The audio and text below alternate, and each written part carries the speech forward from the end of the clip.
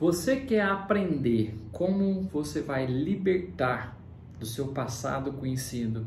Você quer aprender a colocar novas realidades do seu futuro, os seus sonhos no seu inconsciente para criar sincronicidades, eventos, pessoas que vão te ajudar a realizar os seus sonhos?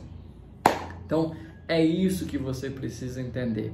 Como o seu cérebro funciona. A partir do momento que você entende sobre ondas cerebrais, você consegue é, mentir, ludibriar o seu cérebro para que ele aceite aquela nova realidade na sua vida. E aí o seu mural das visualizações vai ter um efeito sobrenatural. Então, nós estamos fazendo aqui o estudo de como se tornar sobrenatural. E no vídeo de hoje, eu quero ensinar você como você vai fazer, eu quero te ensinar o que, que são ondas cerebrais, o que, que vai fazer, qual é a importância delas na sua vida para ter resultados extraordinários. Então, antes de mais nada, se inscreva no canal, deixa aí o seu like, deixa o teu comentário, compartilhe com o maior número de pessoas que queiram receber essa mensagem, porque aqui é um livro técnico. Talvez fica um pouco é, maçante, mas pega papel e caneta e anote tudo que você está aprendendo. E não deixe de aplicar tudo aquilo que você aprendeu. Porque quando você faz uma autoconsciência, entende como o seu corpo, a tua mente, o teu espírito funciona, você cria uma realidade. Então vamos lá, nós estamos aqui fazendo leitura do momento presente, o capítulo 2. Nós estamos aqui na parte onde que tem um subtópico, né? Retome sua energia. Então vamos lá, o que, que o autor vem trazer para nós hoje?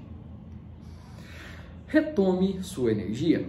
Para se desconectar do mundo externo, você tem que aprender a modificar suas ondas cerebrais. Então vamos falar um pouquinho sobre frequências de ondas cerebrais. Na maior parte do tempo que você passa acordado e consciente, você está no nível beta de frequência de onda. Então agora você está no nível beta. Beta é a medida de frequências baixas, médias e altas. Beta baixa é um estado relaxado, quando você não percebe nenhuma ameaça no seu mundo externo, mas ainda tem consciência do seu corpo, no espaço e tempo.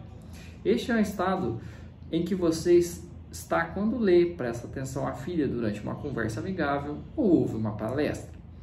Beta média é quando um estado você está um pouco mais excitado, quando você está se apresentando a um grupo de pessoas e tem que lembrar o nome de cada um. Você está mais vigilante, mas não totalmente estressado ou completamente fora do equilíbrio. Considere beta média algo com um estresse bom. Já beta alta é o estado em que você se encontra quando dominado pelos hormônios do estresse. São ondas cerebrais que você exibe quando tem algumas emoções de sobrevivência, inclusive raiva, alarme, agitação, sofrimento, pesar, ansiedade, frustração ou até mesmo depressão. Então, beta alta pode ser três vezes mais alta que beta baixa e duas vezes mais alta que beta média. Certo? Compreendeu? Embora possa passar a maior parte do tempo em vigília em ondas cerebrais de frequência beta, você também mergulha em ondas cerebrais de frequência alfa ao longo do dia. Você exibe ondas cerebrais de frequência alfa quando está relaxado, calmo, criativo e até intuitivo, quando não está mais pensando ou analisando, mas sonhando, acordado ou imaginando, como no estado de transe. Ondas beta indicam quando você está colocando a maior parte da atenção no mundo externo. É esse movimento onde você está acordado. Ondas alfa indica quando você coloca a maior parte de sua atenção no mundo interno. Então, agora vem a terceira onda, onda teta, predominante no estágio crepuscular, quando a mente ainda está acordada, mas o corpo está pegando no sono. Essa frequência também é associada aos estados profundos de meditação. Ondas agora teta, beta, delta, quer dizer, desculpa, teta a gente fala agora delta. Normalmente ocorre durante o sono profundo, restaurador. Porém, nos últimos quatro anos, a minha equipe de pesquisa e eu registramos vários alunos entrando em ondas delta muito profunda durante meditação. O corpo está profundamente adormecido eles não estão sonhando, mas a leitura cerebral mostra o cérebro processando amplitudes muito altas de energia. O resultado é que eles relatam experiências místicas profundas de unicidade, em que se sentem conectados a tudo e a todos no universo, certo? E aí tem a ondas gama, indica o que chamam de estado superconsciente. Essa energia de alta frequência acontece quando o cérebro é excitado por um evento interno, ou seja, um exemplo de meditação, quando seus olhos estão fechados e você mergulha dentro de si mesmo, em vez de um acontecimento fora do corpo. Vamos falar de ondas gamas nos próximos capítulos. Essa aqui é a onda sensacional. Olha só como que é os estados aqui de ondas. Olha só, ó, beta. Olha como que é a, amplitude de beta, alfa, teta, delta e gama. Você vê que é uma alta frequência, certo? E elas têm algumas pontuações. Beta vai de 0 a 1. Deixa eu ver, tem um, deixa eu ver se vai falar aqui essa, essas questões de medida, essas frequências. Uma das maiores dificuldades quando se medita é sair de beta para alta frequência, entrar em alfa e depois teta. Todavia é absolutamente fundamental porque quando desaceleramos as ondas cerebrais para essas frequências, não estamos mais prestando atenção no mundo externo e as distrações que estão acostumados. E aí o que, que acontece? Você começa a tornar-se presente. Olha só. Não seria maravilhoso desconectar da associação com todos os elementos do ambiente externo durante a meditação e ir além do corpo, dos medos e da agenda, esquecer o passado conhecido e o futuro previsível? Se fizer isso direto, você vai até perder a noção do tempo. Quando supera o pensamento automático, as emoções e os hábitos durante a meditação, é exatamente isso que vai acontecer. Você vai além do corpo, do ambiente e do tempo. Você enfraquecerá os elos energéticos com a realidade passado-presente e fica simplesmente no momento presente. Só no momento presente é possível trazer sua energia de volta. Isso exige algum esforço, claro, você vai ter que praticar a meditação, porque você vive sob os hormônios do estresse, por óbvio. Então, entender é, essa habilidade sobre, vamos ver o que, que acontece quando não se está no momento presente durante a meditação, para que você saiba o que fazer quando isso acontecer. Entender essa habilidade é importante. Se não conseguir ir além do estresse, dos problemas e da dor, você não pode criar um novo futuro onde essas coisas existam. Olha que legal. Digamos que você esteja sentado em meditação e começa a ter pensamentos aleatórios. Você tem um hábito de pensar assim porque há anos pensa do mesmo modo e coloca atenção nas mesmas pessoas, nas mesmas coisas. Você acolhe os sentimentos familiares todos os dias, só para reafirmar o mesmo personalidade conectada. A única diferença agora é que, como está tentando meditar, seus olhos estão fechados. Enquanto está ali de olhos fechados, você não vê seu chefe fisicamente, mas seu corpo quer sentir raiva, porque toda vez que o vê, 50 vezes por dia, 5 dias na semana, você tem o hábito de sentir amargura ou agressividade. De uma maneira semelhante, quando recebe e-mails, inconscientemente você tem a mesma reação. Por isso, seu corpo se acostuma com essa raiva do chefe. Olha que, que interessante. Então, o que, que acontece? É, você está sentado tentando meditar, mas seu corpo está trabalhando de tudo que é jeito. Isso acontece porque o seu corpo quer uma dose química daquelas emoções familiares que normalmente sente ao longo do dia enquanto você está acordado de olhos abertos. Então assim, perceba como que você sempre traz coisas conhecidas. Então cada vez que você para, quieta o corpo e volta ao momento presente, você diz ao corpo que ele não é mais aquela mente. Você é a mente, certo? Então o que que acontece?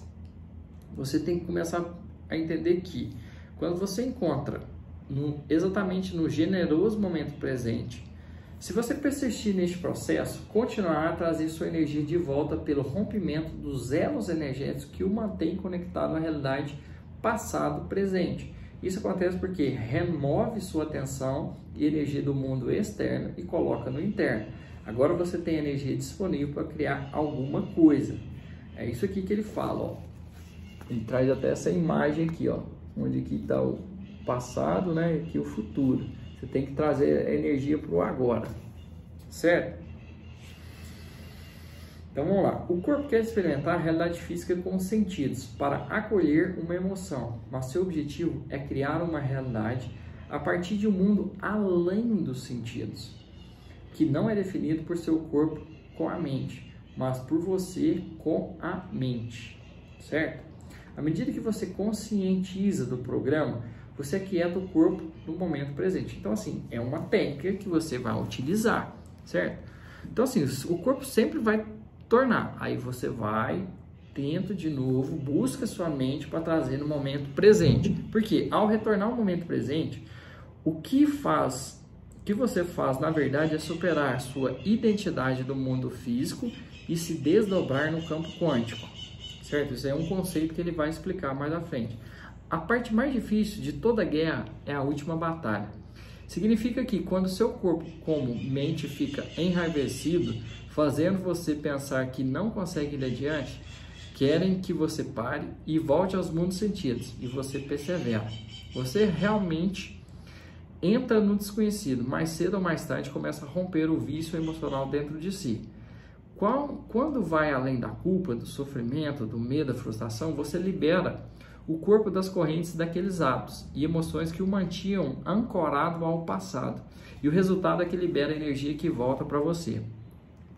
Quando, você, quando o corpo libera toda a energia emocional armazenada, ele deixa de ser mais a mente. Você descobre que de outro lado o medo está na coragem. De outro lado da carência está a totalidade e do outro lado da dúvida está o conhecimento. Quando você entra no desconhecido e abre mão da raiva ou ódio, você descobre o que? O amor e a compaixão. É a mesma energia, ela apenas estava armazenada e agora está disponível para a criação de um novo destino.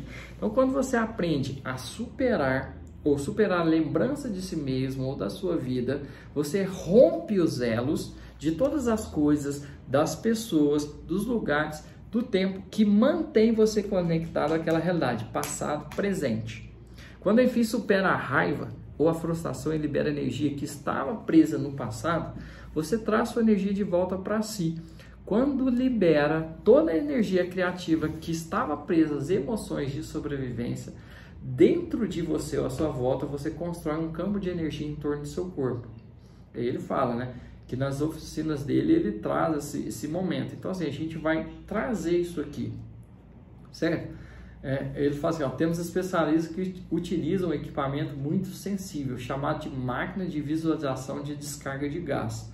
GDV com um sensor chamado de antena Sputnik, especialmente desenvolvida pelo Dr.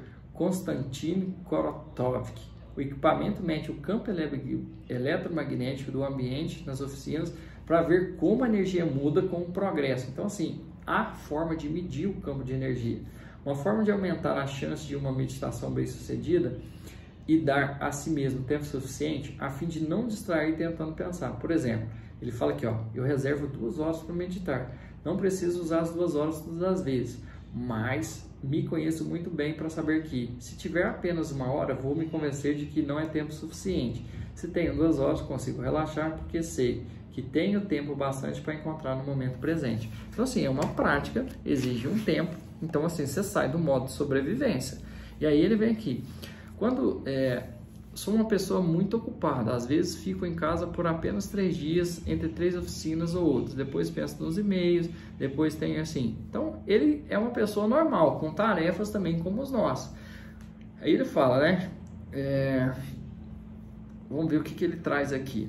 Quando isso acontece, eu fico pensando nas mesmas pessoas que preciso ver no mesmo lugar onde tenho ir. Então, assim, ele está mostrando que ele toma consciência de que minha atenção está em algo do futuro, que ele jogou para frente, né? O que, que ele tem que fazer no dia a dia. E aí, quando faço isso, começa o quê? Desativar, conectar novas sinapses neurais. A seguir, eu posso ficar um pouco emotivo, ou um pouco impaciente e frustrado pensar em algumas coisas que aconteceram no dia anterior. Então, como emoções são um registro do passado, eu coloco a minha atenção onde coloco minha eu coloco a minha energia onde coloco minha atenção. Tomo consciência de que estou investigando a energia do passado. Então, assim, ele sempre faz uma leitura sobre ele. Por quê? Quando você está no exato lugar generoso do momento presente, o passado desconhecido e o futuro previsível não existe mais e você está pronto para criar novas possibilidades na sua vida. E aí ele vem, né? Ele relata, né? O que, que, que ele fala? Que, ó, deixa eu ver. Ele quer sempre trazer o que? Estar no momento presente. Quando ele traz esse momento presente, ele construi um campo de energia em torno do corpo dele. É isso aqui, ó. Ele traz esse campo de energia, ó. Quando ele está no agora, no generoso momento presente, não no nenhum passado familiar, nem nenhum futuro previsível. E aí, ele traz o que? Esse campo de energia, às vezes durante horas, pra, cada vez que me esforço para me superar encontrar num lugar chamado eterno agora, sempre penso a mesma coisa, vale muito a pena. Então, assim, essa é a questão do eterno presente. Foi um conjunto de vídeos onde a gente falou um por um o que, que é o momento presente.